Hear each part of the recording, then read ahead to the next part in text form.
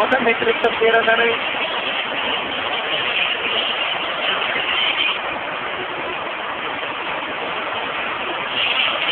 Eh, pakita mo mukha mo.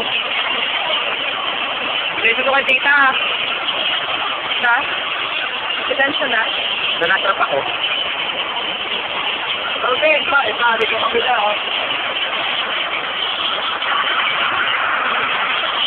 Ay, ito ang nalipa.